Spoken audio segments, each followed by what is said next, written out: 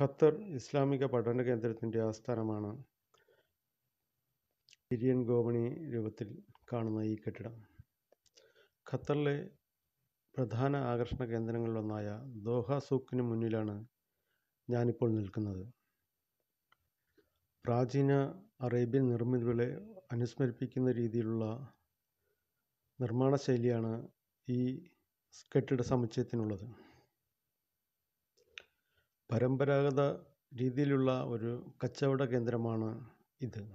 ഒരു കച്ചവട കേന്ദ്രം എന്നതിലുപരി ഇത് ഒരു സാംസ്കാരിക കേന്ദ്രം കൂടിയാണ്. സമീപകാലത്ത് നിർമ്മിച്ചവയാണെങ്കിലും പ്രാചീനതയുടെ രൂപഭംഗി ഒട്ടും തന്നെ ചോർന്നു പോകാത്ത രീതിയിലുള്ള നിർമ്മിതിയാണ് ഇവിടെ ചെയ്തിരിക്കുന്നത്. മുന്നിലായി ധാരാളം പ്രാവുകളെ നമുക്ക് കാണാം. അറേബ്യൻ ജനതയ്ക്ക് പക്ഷികളോടുള്ള ഇഷ്ടം എല്ലായിടങ്ങളിലും നമുക്ക് കാണാൻ സാധിക്കും. അറേബ്യൻ സമ്പന്നത വിളിച്ചോതുന്ന അമ്പരച്ചുംബികളായ കെട്ടിടങ്ങളാണ് അങ്ങകലെ കാണുന്നത്.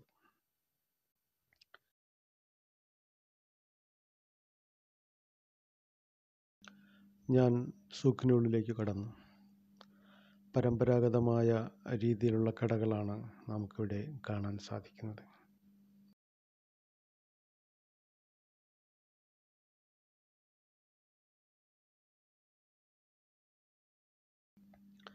ഇപ്പോൾ ഞാൻ എത്തിയിരിക്കുന്നത് പക്ഷികളുടെ ഒരു വിപണന കേന്ദ്രത്തിലേക്കാണ്.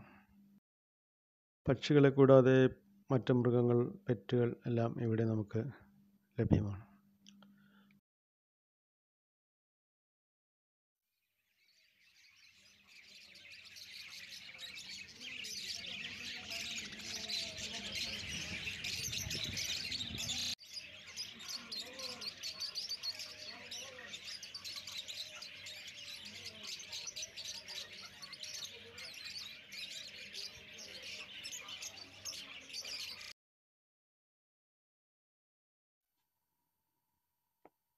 ഇപ്പോൾ സമയം സന്ധ്യയോടടുത്തു.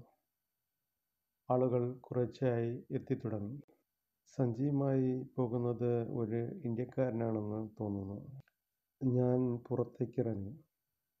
ദോഹ സുക്ക് അപ്പോൾ മനോഹരമായ ദീപങ്ങളാൽ അലങ്കൃതമായിരുന്നു.